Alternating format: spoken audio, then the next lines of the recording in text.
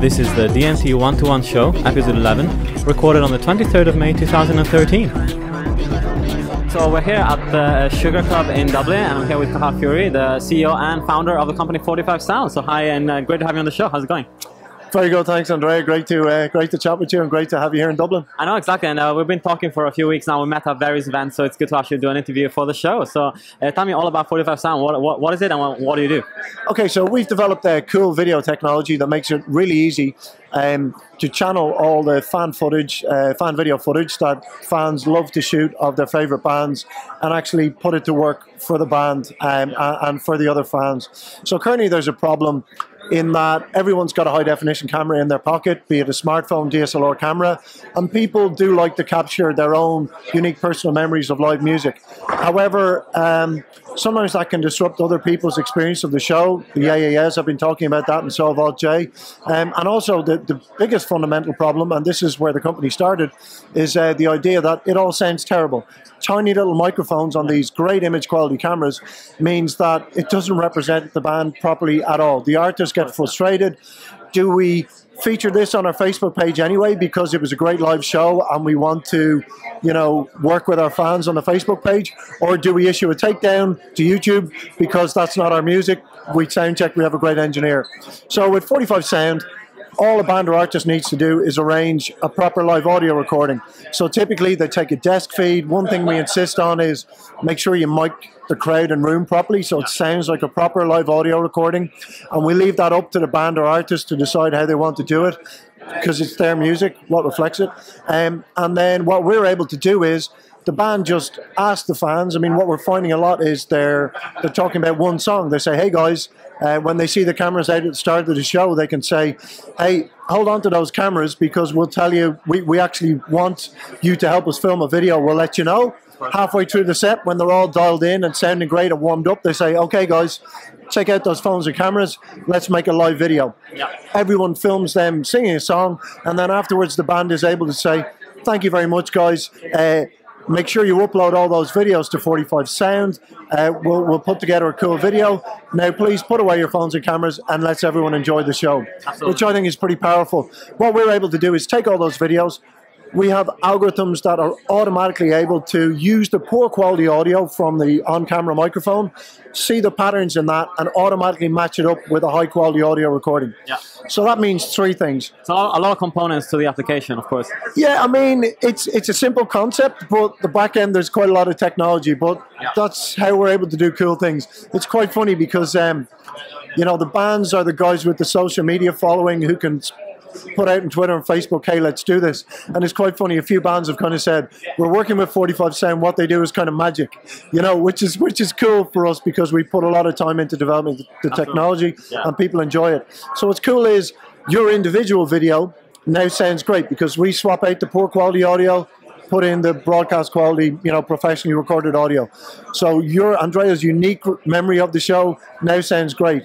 Yeah. Then a cool thing happens when five people, ten people, twenty people video the show, because now people can go onto our web player and onto our iPhone app. And automatic, you can switch between the different angles because we wow, have it all synced up. So you can awesome. start watching and you can say, oh, I wonder what it's like from that angle, that angle, that angle.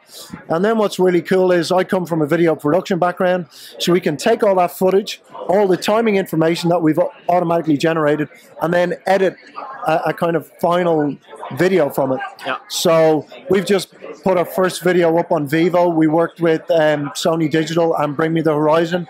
So that's gone up on their Right. Vevo channel. So it shows it, yeah, it goes from fan footage right the way up to broadcast quality content. And not only that, I think a, a lot of people, like we're here at a technology event today, and people get hung up on technology and code. But for me, technology is just a tool. There was a time when the wheel was technology. Uh, technology is just new stuff. It's what you do with it. And I think that's what's really powerful. It's the psychology behind, behind what we're doing. Absolutely, We're breaking down that barrier, letting people get involved. You don't have to have our iPhone app. You don't have to have our Android app. Anything you can shoot on, DSLR, point and shoot, Android, iPhone, you can be a part of this. Um, and it's kind of interesting because a lot of people were talking about what SoundHalo are doing with, Yeah. with Alt J, and I think that's really exciting. And, and everything that people are doing in this space, I think, is really exciting. But what I think is kind of cool is that that's being filmed by a professional crew. Yeah, sure. This is being filmed by the fans themselves. I think that's really powerful, and we credit them all on the videos as well. Of course. And so, um, uh, you know, for a project like this, uh, how, how long did it take you to get it uh, to get it running, and uh, how does it work? Uh, well, yeah, I, I came from a video production background, so I loved shooting uh, video. We got paid to do corporate work, but our love was filming live music. Never got paid, obviously, but um, working with some incredible Irish and international bands, and I just had the germ of an idea. I'm like First of all, the audio is the most important thing. Everyone filming this is wasting their time unless it's recorded properly. Then I was like, there's got to be an easier way of doing this than, okay, will I take your memory card? Will we copy it over now? Will you Dropbox it to me? Will I call around to your place with a hard drive? Very, very messy. And then I was like, hang on a second, there's five of us filming this. There's 50 people in the crowd. And when that guy goes crowd surfing, yeah. or kneels in the middle of the crowd playing a guitar solo, you're not going to get the shot. Those guys have the best shots in the house, and it doesn't matter if they have a five-year-old Nokia phone or an old BlackBerry, they're getting the best shot. So Germ of an idea, um, gave a lot of thought, um, and I was really fortunate that I, I managed to hustle a bit and found two, uh, Dan and Mikkel would be in the top five or ten in, in audio processing uh, research in the world. Um, and they were working with a, a Dublin-based university at the time, DIT. We sat down, I bought them lunch, and I said, "Hey, here's what here's what I want to do," and they said, "Hmm, that's a good idea." And we can do that. Yeah. Give us your most distorted samples and let us at it. So it's been about a two-year journey so far, but right now, like we're working with Universal, we're working with Sony, we're do, we've, we've done stuff across three continents, 18 countries now, working with lots of cool bands. So um, it's very exciting, starting to take shape. And the really exciting thing about what we do is a lot of brands want to get involved in the live music space, but they don't want to just be a poster on the wall. And fans kind of fans react positively to brands when brands bring something extra and do positive things and add to the live music experience. So we did it for the first time here in Dublin for the Choice Music Awards. We worked with Meteor, uh, a mobile phone company.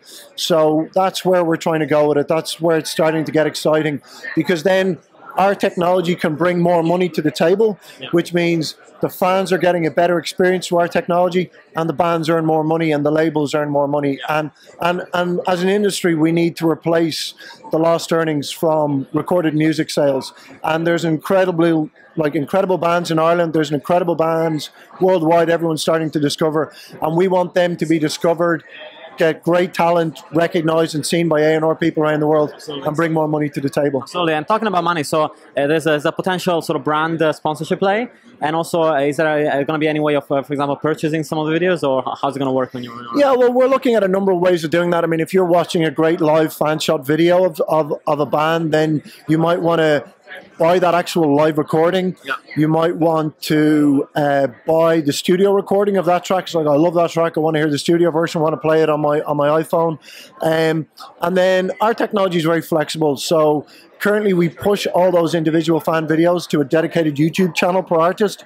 But we can we can have a lot of fun with those videos. So we are starting to have discussions with labels about ways of monetizing that live content.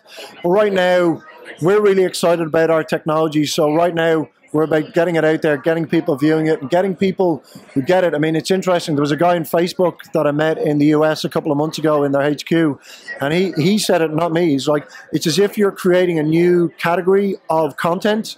Something magical happens. It was better than I anticipated. When you take a sh sh slightly shaky uh, camera angle from in the middle of the crowd yeah. and you match that with pro audio, I think it's more engaging than studio recorded yeah. music, and I think it's more engaging than a guy with a tripod filming who's kind of checking his watch and going, "What am I going to have for dinner?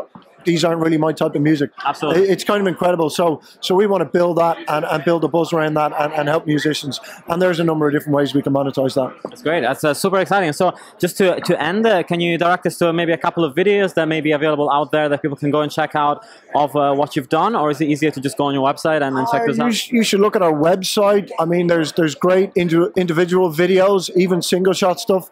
Look for a guy called Foy Vance at South by Southwest I love the guy. He's incredibly talented uh, singer songwriter. Uh, check out his video. Check out Bring Me the Horizon live at Telka 45 Sound on their Vevo channel. Check out Jamie Cullum. That I think that was our most fan video so far. 85 fan videos of a single track. Um, and hopefully, very shortly, we're going to have some really cool stuff from Little Green Cars uh, one of another like amazing Irish towns, um, and they were playing their biggest Irish headline show in Vicar Street recently here in Dublin. So a couple of videos hopefully to go up from them. We're doing some cool stuff if you're based in London. Uh, a couple of cool shows coming up shortly in London as well.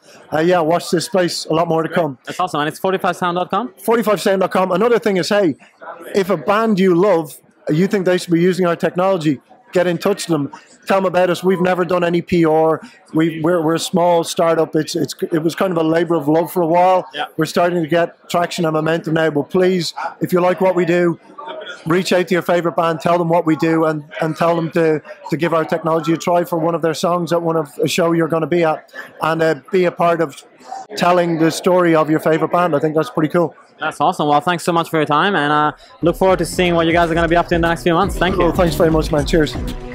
If you enjoyed the show, remember to check out our weekly music tech news show on digitalmusictrends.com.